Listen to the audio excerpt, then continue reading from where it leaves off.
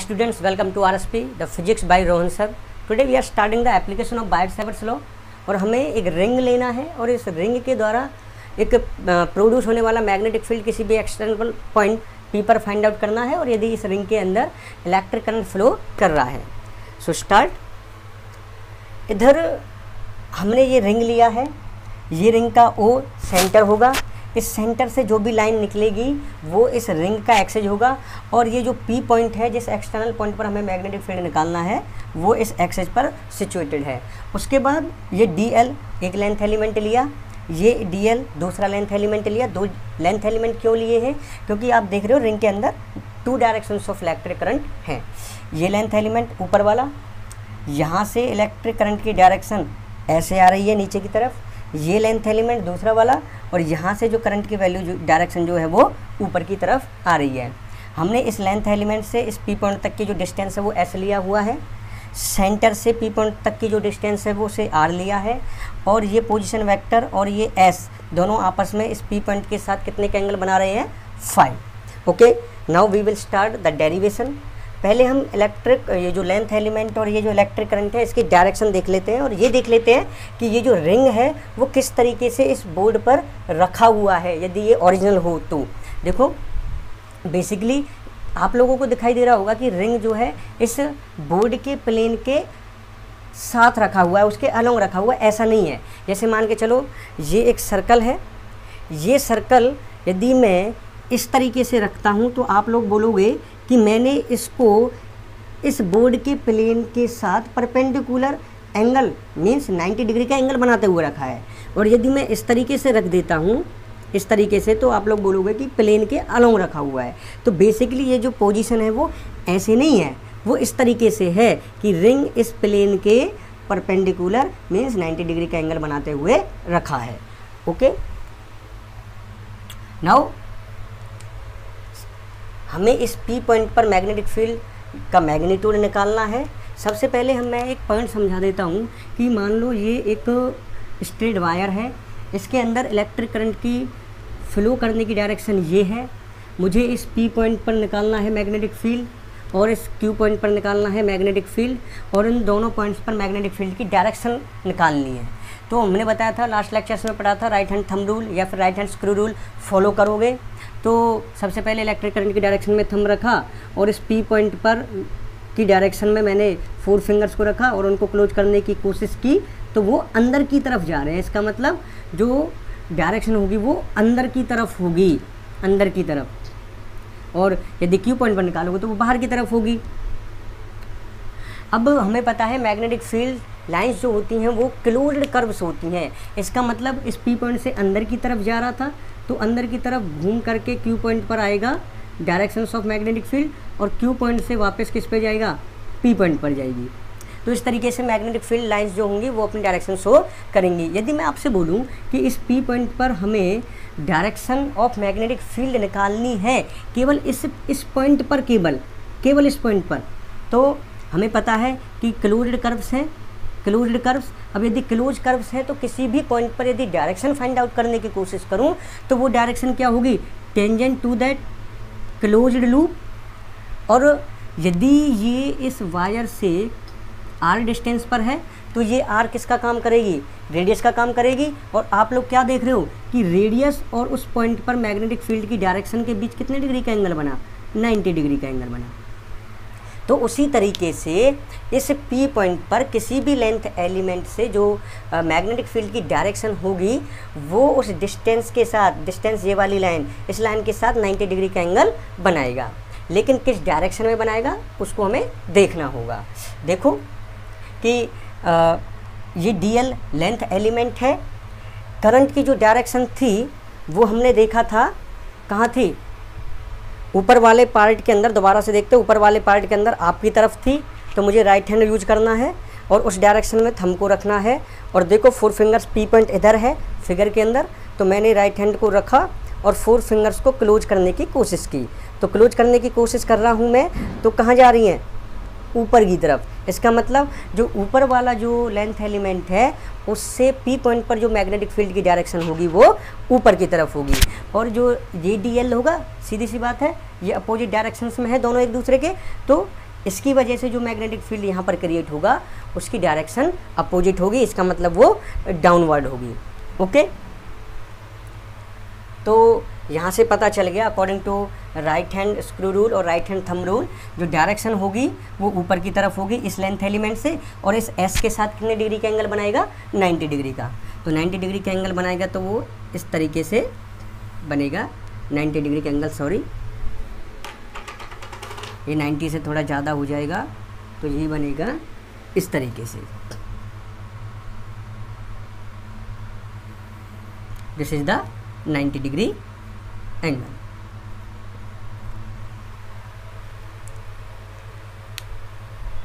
and this is the DL this is the DL दोनों का magnitude same है तो दोनों सेम अमाउंट में मैग्नेटिक फील्ड क्रिएट कर रहे होंगे पी पर तो इसकी वजह से जो डायरेक्शन होगी मैग्नेटिक फील्ड की वो भी इस एस के साथ कितने डिग्री का एंगल होगा 90 डिग्री का एंगल होगा तो यहाँ से 90 डिग्री का एंगल बनाओगे तो वो किस तरीके से होगा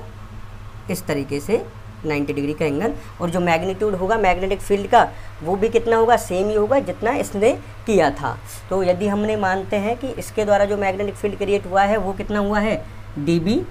तो इसकी वजह से भी कितना होगा डी अब ये जो दोनों हमने मैग्नेटिक फील्ड इस पॉइंट पर निकाले हैं वो एक लाइन पर नहीं है तो इसलिए ना तो ऐड हो सकते हैं और ना ही सब्ट्रैक्ट हो सकते हैं तो इसका मतलब हमें इनके आ, आ, आ, पार्ट्स करने पड़ेंगे इनको डिवाइड करना पड़ेगा इनके फैक्टर्स की फॉर्म के अंदर तो इस डी को यदि हम तोड़ते हैं तो एक डायरेक्शन इसमें होगा और एक डायरेक्शन इसमें होगी ऐसे ही यदि इस डी बी रिजल्टेंट मैग्नीट्यूड को तोड़ते हैं तो वो भी दो डायरेक्शंस में होंगी एक नीचे की तरफ होगा और एक ऊपर की तरफ होगा ये नीचे की तरफ हो गया और ये ऊपर की तरफ हो गया ओके यहाँ से हमने निकाला था ये मैग्नीट्यूड इसकी वजह से और ये वाला मैग्नीट्यूड इस लेंथ एलिमेंट की वजह से तो हमने इनको टू फैक्टर्स में डिवाइड किया था ये डी इस वाली लाइन में और इस वाली लाइन में और ये डी इस फैक्ट इस वाली डायरेक्शन के अंदर और इस वाली डायरेक्शन के अंदर अब हमें पता है कि किसी भी रिजल्टेंट वेक्टर को यदि हम डिवाइड करते हैं तो एक लाइन होती है कॉस्ट थीटा के अंदर और दूसरी लाइन होती है साइन थीटा के अंदर तो देखते हैं कि कौन सी डायरेक्शन साइन थीटा वाली होगी और कौन सी डायरेक्शन कॉस्ट थीटा वाली होगी सबसे पहले ये एंगल की यदि मैं बात करता हूँ तो ये एंगल हो गया कितना नाइन्टी डिग्री का और ये एंगल ऑलरेडी 90 डिग्री का है अब मैं इस एंगल को फाइंड आउट करना चाहता हूँ कि ये एंगल कितने डिग्री का होगा इसका मैग्नीट्यूड कितना होगा सबसे पहले यदि मैं केवल इस वाले एंगल की बात करूँ तो ये वाला एंगल कितना होना चाहिए देखो टोटल ये एंगल कितना है 90 डिग्री का है मैं उसमें से फाइव एंगल सब्ट्रैक्ट कर दूँ तो ये वाला एंगल निकल करके आएगा इसका मतलब वो एंगल कितना होगा 90 माइनस फाइव तो ये वाला जो एंगल आ गया वो कितना आ गया 90 माइनस फाइव अब मुझे पता है ये वाला एंगल 90 डिग्री का है उसमें से मैं इस 90 माइनस फाइव को माइनस कर दूं तो मेरे पास ये वाला एंगल निकल करके आएगा तो ये हो गया कितना ninety minus ninety minus five कितना बचा sorry ninety minus ninety minus five कितना बचा ninety minus ninety plus five कितना बचा five angle it means this angle is five similarly this angle will be five तो इसका मतलब this direction of the magnetic field is D B cos five and this is D B sine five ऐसे ही ये line हो जाएगी D B cos five और ये वाला हो जाएगा डी बी साइन फाइव अब देखो ये डी बी कॉस फाइव और ये डी बी कॉस फाइव दोनों का जो मैग्नीट्यूड है वो सेम है लेकिन डायरेक्शन अपोजिट है तो ये क्या हो जाएगा cancel out to each other तो हम इसको कैंसिल कर सकते हैं and this D B sine five and this D B sine five दोनों सेम डायरेक्शन के अंदर है इसका मतलब ये दोनों ऐड हो जाएंगे तो निकालते हैं कि रिजल्टेंट मैग्नीट्यूड कितना होगा then total resultant magnitude will be total D B is equal to D B sine five plus D B sine five that is two D B sine five consider it as equation number one अब this D B this D B is according to Biot Savart's law कितना होता है D B is equal to mu naught over four pi I D L sine theta divide by R square और R square यहाँ पर कितना है S क्योंकि D L और पी के बीच में कितनी डिस्टेंस है एस तो ये हो जाएगा यहाँ से एस स्क्वायर अब बात करते हैं इस थीटा वैल्यू की कि ये थीटा कितना होगा हमें पता है कि ये थीटा एंगल जो होता है वो डी और आर के बीच में होता है अब यहाँ पर डी सामने की तरफ है ये वाला पॉइंट मैंने पहले बताया था ring perpendicular to this plane रखी हुई है तो एल की डायरेक्शन सामने की तरफ होगी आर की जो डायरेक्शन है इसके अलोंग है प्लेन के इस बोर्ड का जो प्लेन है उसके अलोंग है और एल ऐसे है परपेंडिकुलर तो कितना एंगल बना 90 डिग्री तो so theta will be 90 degree और थीटा 90 होगा तो साइन 90 इज़ वन वन रखोगे तो कितना हो जाएगा D B is equal to mu naught over four pi I D L divide by S square इसको हमने मान लिया क्वेश्चन नंबर टू अब इस टू को वन में रख सकते हैं then total D B is equal to two multiply by mu naught over four pi I D L divide by S square and multiply by sine five two से four को cut कर सकते हैं two बार अतः what is the value of sine five in the triangle ये triangle दिख रहा है A O P in triangle A O P right angle triangle है ये तो राइट एंगल ट्राइंगल है तो यहाँ से हम साइन फाइव निकाल सकते हैं इजीली साइन फाइव होता क्या है परपेंडिकुलर ओवर हाइपोटेन्यूज तो परपेंडिकुलर यहाँ से कितना होगा ये हो जाएगा यहाँ से perpendicular that is A O और ए ओ की वैल्यू कितनी है ये है A and H hypotenuse will be A P और ए पी की वैल्यू कितनी है एस इसको हमने मान लिया क्वेश्चन नंबर थर्ड और इसको इसमें पुट करोगे तो यहाँ से हो जाएगा total D B is equal to mu naught over two pi I D L divide by S square multiply by A by S ये हो गया यहाँ से mu naught over two pi I D L A divide by S cube इसको हमने मान लिया total D B और इसको हमने मान लिया इस question number four this is the total D B अब this is the D B means small amount of the magnetic field इसको हमें इंटीग्रेट करना पड़ेगा पूरे रिंग के लिए फाइंड आउट करने के लिए क्योंकि ये तो केवल हमने ये लेंथ एलिमेंट और ये लेंथ एलिमेंट दो लेंथ एलिमेंट से निकाला है इसको हम इंटीग्रेट करेंगे फुल रिंग के लिए तो हमारे पास total magnetic field find out हो जाएगा तो इंटीग्रेट करोगे क्वेश्चन नंबर फोर को on integrating equation number four तो इसको इक्वेशन नंबर फोर को इसको इंटीग्रेट करोगे तो ये आ जाएगा B and integration of mu naught over two pi I D L A divide by S cube अब इसके अंदर जो लिमिट होगी लोअर लिमिट और अपर लिमिट वो क्या होगा देखो ध्यान से कि इस डी एल लेंथ एलिमेंट से हाफ रिंग कवर्ड हो रही है और इस डी एल लेंथ से हाफ रिंग कवर्ड हो रही है इसका मतलब हमने दोनों के लिए पहले ही निकाला था तो हाफ हाफ कवर हो रही है इसका मतलब लेंथ एलिमेंट्स हैं तो पहले तो रिंग का टोटल लेंथ कितना होता है टोटल लेंथ होता है किसी भी रिंग का कितना होगा two pi into its radius that is two pi A क्योंकि ए इसकी रेडियस है और हाफ पार्ट के लिए कितना होगा pi A so lower limit is zero and upper limit is pi A then B is equal to अब जिसका इस इंटीग्रेशन होगा केवल डी एल का इंटीग्रेशन होगा तो mu naught over two pi A divide by S cube ये बाहर आ जाएगा इंटीग्रेशन से और ये हो जाएगा आई और आएगा बाहर ये रह गया अंदर कितना D L only D L and limits are zero to pi A उसके बाद हम इस डी एल का इंटीग्रेशन करेंगे और डी एल का इंटीग्रेशन करोगे तो कितना होगा B is equal to mu naught divide by two pi A i divided by s cube the integration of dl is l and the limits are 0 to pi a अब इस limits को हम रख सकते हैं लिमिट्स को हम कैसे रखते हैं सबसे पहले अपर लिमिट उसके बाद minus and then lower limit तो ये हो जाएगा यहाँ से b is equal to mu naught divide by two pi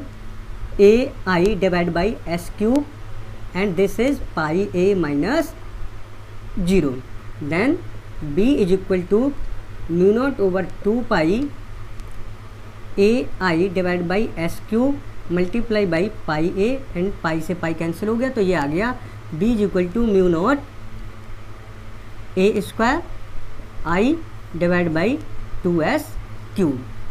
this is the magnetic field created by this ring अब यदि इस रिंग के साथ और बहुत सारी रिंग्स कनेक्टेड है जैसा कि बेसिकली हम स्प्रिंग देखते हैं स्प्रिंग में बहुत सारी रिंग्स आपस में कनेक्टेड होती हैं तो यदि हमारे पास एन नंबर ऑफ रिंग्स हों तो एन नंबर ऑफ रिंग्स होंगी तो क्या हो जाएगा if there are N number of rings then the magnetic field magnitude will be B is equal to इसमें एन से मल्टीप्लाई हो जाएगा तो इसका कितना हो जाएगा mu naught A square I divide by two S cube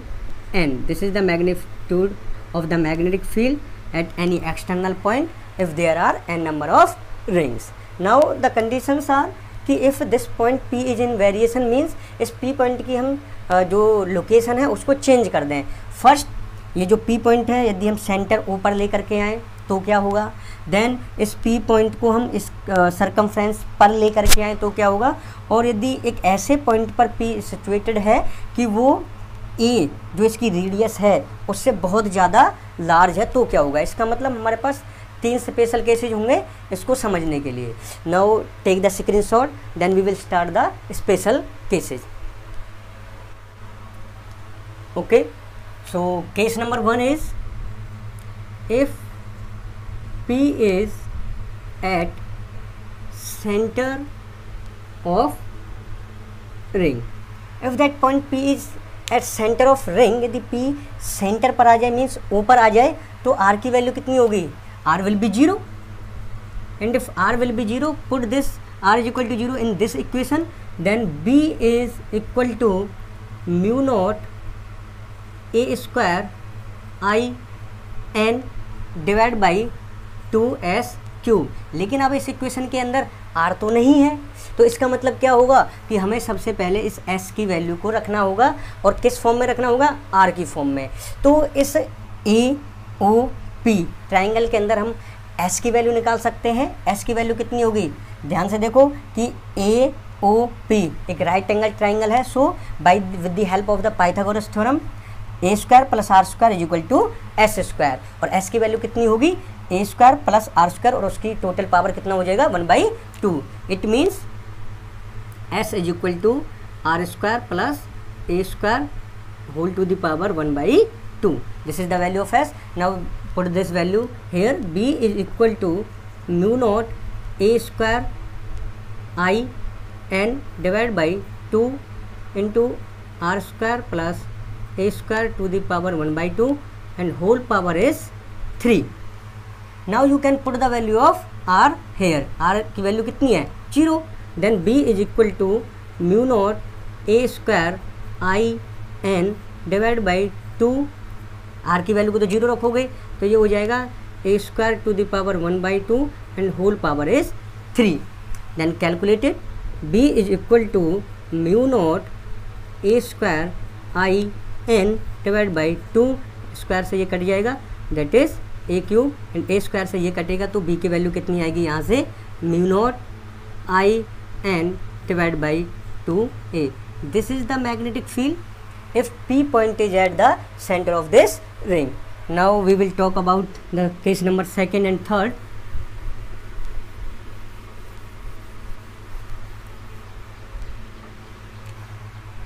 second case is if P point is at circumference circumference पर होगा इट मीन्स यहाँ होगा और यहाँ होगा तो इसका मतलब क्या है कि जो आर बनने वाली है वो इस ए के बराबर होगी क्योंकि यहाँ से यहाँ तक भी तो क्या है रेडियस और ये भी क्या है radius it means if P point is at circumference it means r is equal to a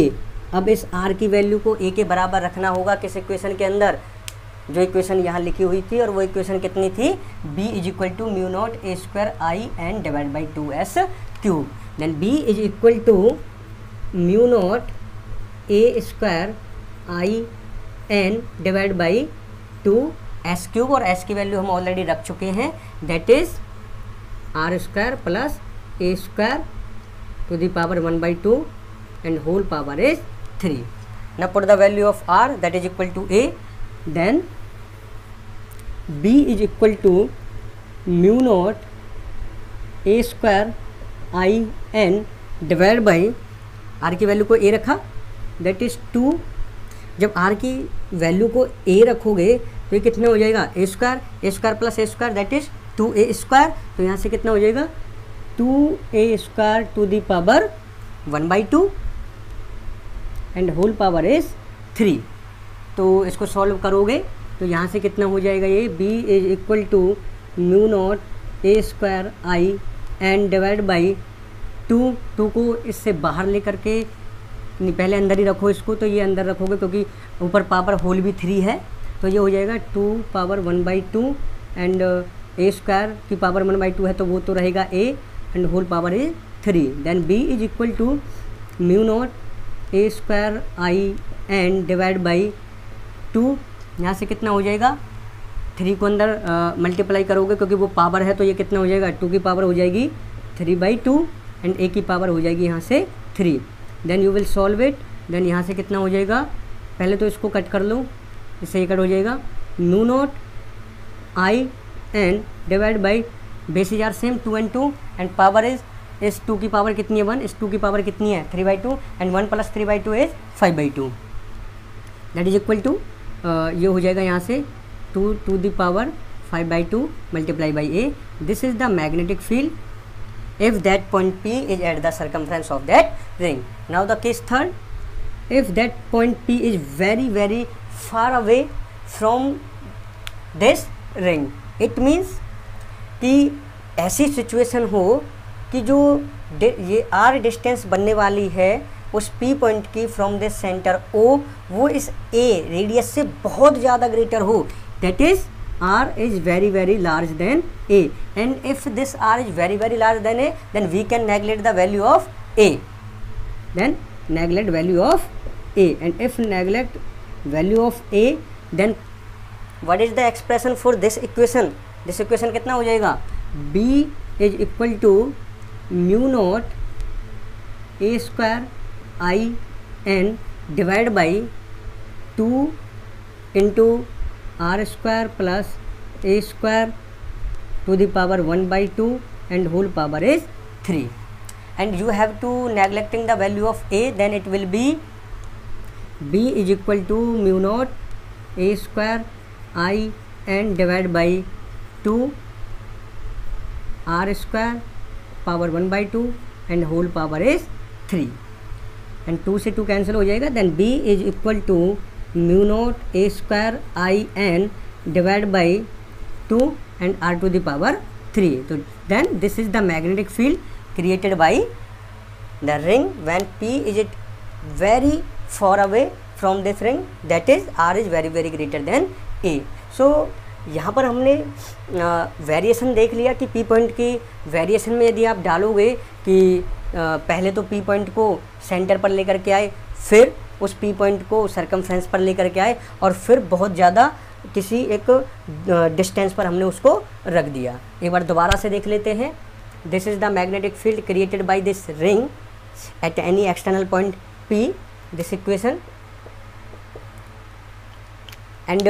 whenever the p is at the center of the ring that is r is equal to 0 then this is the expression for the magnetic field if the point p is at the circumference it means r is equal to a then this is the uh, value of the magnetic field if r is very very greater than a neglecting the value of a then this is the magnetic field at that point p by that ring okay this is all over the all about the Biot Savart's law उसकी application that is the magnetic field due to a ring okay thanks